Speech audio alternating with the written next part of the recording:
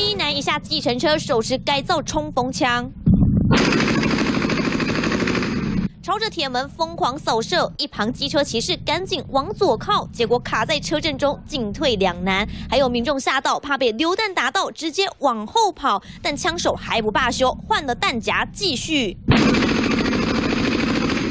日十五秒连开五十一枪，枪手立刻搭计程车离去。好像你在放鞭炮的声音啊，就嘣嘣嘣嘣嘣很大声，是还蛮害怕的，因为。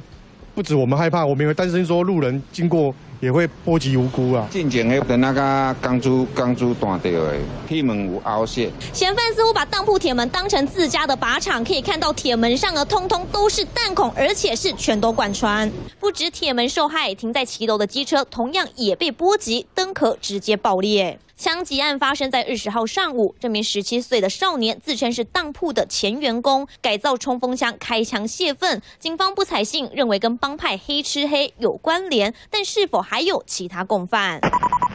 计程车问讲就在现场，直击枪手下车后没关门，又在原地等他上来开走，是否涉及枪击案？问讲被列为关系人。有关计程车司机是哦，这个犯嫌随机拦下。但是是否有参与，我们还是要积极的清查。